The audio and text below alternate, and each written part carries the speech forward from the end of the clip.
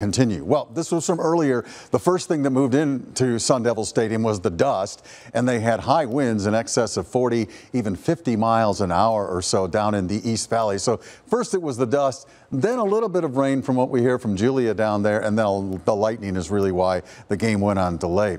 Farther south, boy, it was really coming down in Arizona City uh, tonight uh, with uh, heavy rain, lots of cloud to ground lightning there as well. Uh, the uh, uh, the was this actually from the station or is this from down at? Oh yeah, that is that is from Arizona City. Sorry, it almost looked like the back of the TV station there for a second. Uh, and so Arizona City got hit very hard. We had some rainfall reports in that area of one to two inches of rain. And uh, I believe we're going to go to the maps now if we can and show you that. Uh, oh well, we've got the, the that's our live shot, isn't it? Oh okay, there we go. I love that. There we go, live shot. It shows you how it's still pretty windy out there. There's our flags in the breeze. We didn't get much rain here. We had some very, very strong winds. And if we can show those weather maps, yes, I'd love to do that. Here we go. These are the wind gusts uh, that Scene was talking about. 72 miles an hour uh, at Sky Harbor Airport, 56 at Luke Air Force Base, and we had a 53 mile an hour wind gust at Mesa's Falcon Field and 62 mile an hour wind gust up at Deer Valley. Very strong wind gusts and still pretty windy out there tonight, especially uh, in central Phoenix on the west side of town. 37 mile an hour winds currently sustained out at uh, Buckeyes. So you think it's over? Mm, maybe not so much. This is the chance for rain as we go through the next couple of hours. It is going to go downhill into the early morning hours, but then 7 a.m., 9 a.m., 11 a.m., those chances for precipitation are going to pop right back up, and that's why our first alert is going to continue through the night into tomorrow for the possibility of isolated storms that could once again contain some severe weather. Well, Brianna Whitney went out to chase some weather and some stuff that the weather was doing. And Brianna, you did not get very far, did you? Uh, Royal, I have not seen something like this really in the five and a half years since I've been reporting here. I want to actually just take our viewers on the journey from five minutes leaving our station to five minutes down the road because what we have seen is pretty incredible. We're going to start here. We're at 7th Ave in Highland. Now, luckily, a good Samaritan just pulled this massive, massive traffic sign out with a chain to pull it into this parking lot so it wasn't blocking traffic on 7th Avenue. I mean, take a look. These are one of these giant signs. I've never seen this before. I, here I am standing by it for size comparison. This is huge. It is metal. It is extremely heavy. It was literally ripped out of the ground by the wind that was here on 7th Avenue earlier. And then it was in the middle of the street. We had some good Samaritans who put out flares and were actually directing traffic for some time just to try to keep people safe. Now, Adam, if we could walk this way and bear with us, you guys, because it is pouring rain now out here. This is just off 7th Avenue. As you know, it's a main thoroughfare in Phoenix the power is out on most of this street. So the problem that police were even facing once they got here to the street is the fact that you couldn't see anything and they were trying to direct traffic. Normally, 7th Ave is full of street lights. You see them, it's easy. But when it's wet and slick on the roads, plus just complete darkness, that made seeing that pole on the ground even worse. And that's why all those Good Samaritans came together to try to kind of mediate the situation. So if we want to show you here, Adam, if you can just go out there, um, it's pouring here on 7th Ave, but you can tell there is no light at all. All we're seeing is the brights from the cars that are driving by. The roads are pretty slick. Luckily, no pull in the street as of now, but still, you can see it here, just a ton of lightning. I want to show you guys some video though, because just two minutes after we pulled out of the station here, 7th Ave in Missouri, we ran into 7th Ave and Camelback. I saw a fire truck zooming by, sirens on.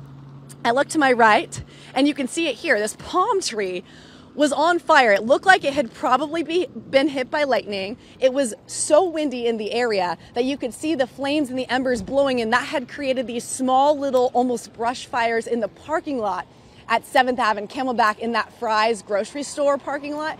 So all of a sudden, people are out of their cars, they're looking, they're filming it. Phoenix Fire got there real quickly. They started with the brush fires, then tended to the palm tree that was blowing those embers to try to get the source of it and they did a really good job um, putting that out as quickly as they could.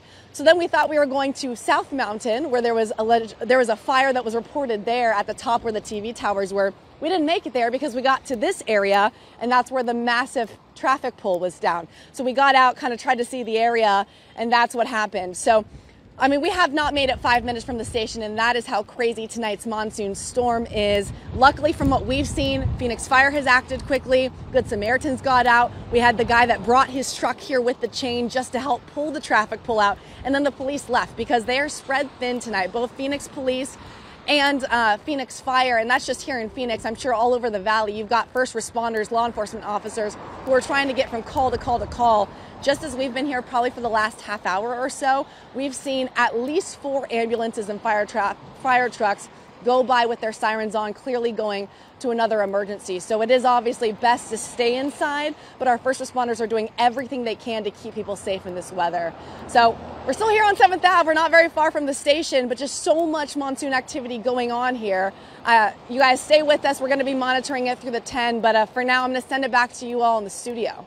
Brianna, thank you very much. And we were watching uh, those firefighters try to put out that tree yeah. fire with the hose. It was the winds were so strong; yeah. it was blowing the water all over the place. Impossible. Yeah, and it's so dark out yeah. there. We're going to get to all the power outages in just a bit. Uh, great work out there, Brianna. We're going to go to Julia Lopez. She is live in Tempe at the ASU game in Tempe that came to a screeching halt because of this weather.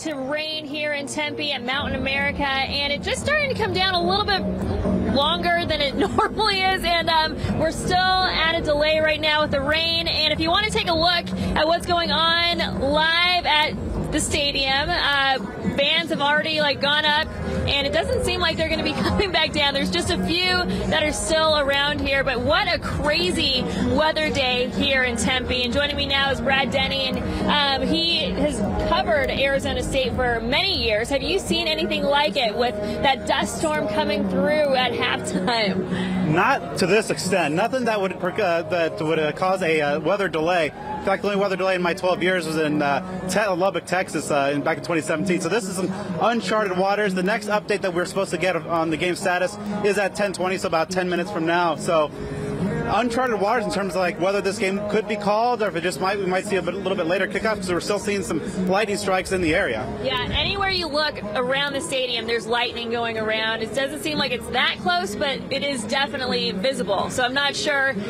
It's what eight miles. They say it has to be clear for 30 minutes and yep. further away than eight miles. Yeah, there needs to be no lightning strikes within eight mile, uh, eight miles of the stadium for a sustained 30 minute period. Now we're still seeing a lot of lightning. Whether that's within the eight miles, we really don't know. But uh, the rain has started to pick up. Uh, the wind's kicking up. It had died down for a little bit now, but it's uh, ramping back up. So we will see probably and get an official word here in about eight, eight minutes or so. And I can't imagine it's starting at 10:30 the second half. So, um, but yeah, they're getting a shot of the dust coming through the stadium. Um, I've never seen anything like that. I thought it was fog at first, or a little bit of rain, and then everybody was like, "Oh man, there's just so much dust coming through." Um, obviously, not good for the fans, not good for the players either. No, and it's a not, it kind of put a damper on the start of the Kenny Dillingham era with the Sun Devils. You know, there's a lot of excitement coming into this game, and just you know, the Sun Devils typically take the field to Thunderstruck by AC/DC, and this is take, taking this a little too far, a little too literally right now. The new Kenny Dillingham era starts out with a bang. This is absolutely crazy. Definitely uh, raining right now, which is terrible because I just did my hair today. I washed my hair. Yeah. and um, I'm going to send it back to you guys. We don't know. We don't have an update just yet, but we'll probably know in about 10, 15 minutes whether or not they're going to try to uh, start this game again. Julian Brad with his beautiful flowing locks tonight. I was going to say, I've never seen Brad without a hat. Of yes, all nights, well, not to wear a hat. This was the night to not wear it, so we can see that hair flowing. Always appreciate